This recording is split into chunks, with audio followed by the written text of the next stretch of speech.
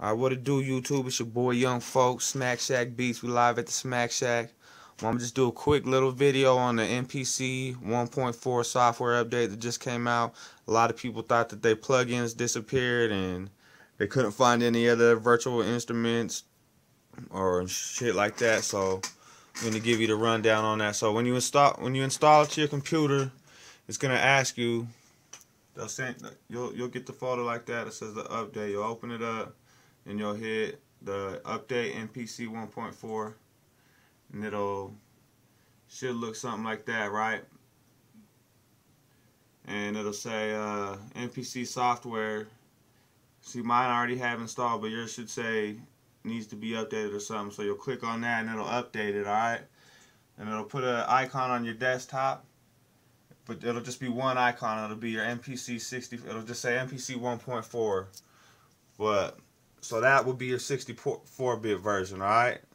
You want you want if you have any 32-bit plugins or third-party plugins that are on there, they will not show up. But if you go down to your start menu, all right?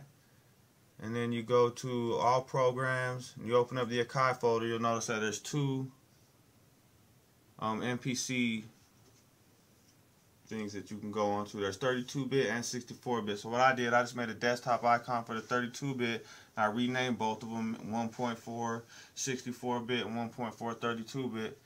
And the plugins that I thought had disappeared, when I open up the 32-bit, they're going to be there. You'll still be running the 1.4 version of the software, and you can do all the new things that the new version can do. But you'll be running on 32-bit. You'll be able to use your, your third uh, third-party plugins that are 32-bit.